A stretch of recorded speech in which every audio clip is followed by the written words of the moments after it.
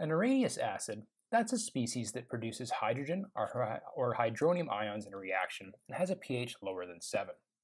An Arrhenius base is a species that produces hydroxide ions in a reaction and has a pH greater than 7. The definition for Arrhenius acids and bases is somewhat limited, and chemists prefer the Bronsted-Lowry theory. It's more useful in a broader range of chemical reactions. The Arrhenius theory is limited in that there are no provisions for reactions that do not occur in aqueous solutions. A Bronsted-Lowry acid is any entity that can donate a hydrogen ion or a hydronium ion. Note that the hydrogen ion is a proton. A Bronsted-Lowry acid must contain a hydrogen that can dissociate as H+.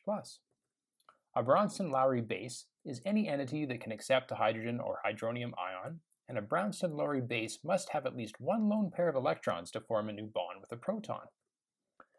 Remember that the hydrogen ion is a proton, and using this definition, acids are considered proton donors, and bases are considered proton acceptors. Acids and bases need each other to react. The acid needs a base present to donate the proton, and vice versa. The advantage of the Bronsted-Lowry definition is that it enables us to define acids and bases in terms of chemical reactions rather than simply substances that form acidic and basic solutions.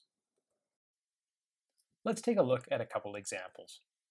In this case, we have nitric acid reacting with water to produce ammonium ion and nitrate ion.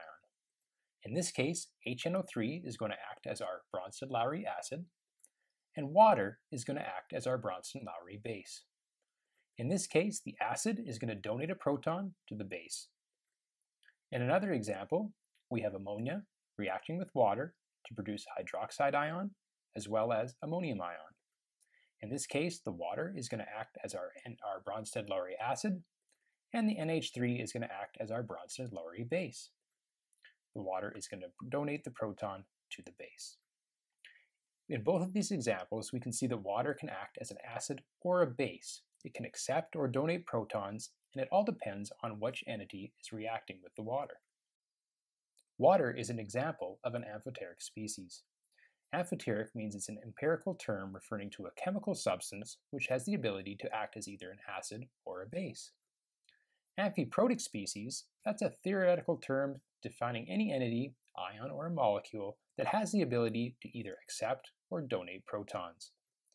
It's important to note that any amphiprotic molecule is also amphoteric, but not any amphoteric molecule is amphiprotic.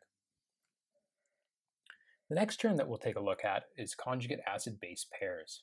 These are chemicals that only differ from one another by the presence of an or absence of a single hydrogen ion or proton. Every base has a conjugate acid, and every acid will have a conjugate base. The actual acid or base will be on the reactant side of the chemical equation, and the conjugate acid or base will be on the product side.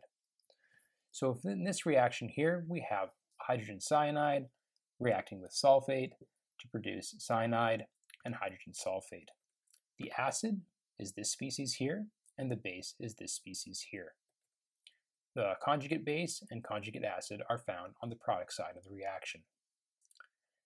An acid will lose its proton, and it will become the conjugate base, and the conjugate base can accept a proton to return to its acidic form.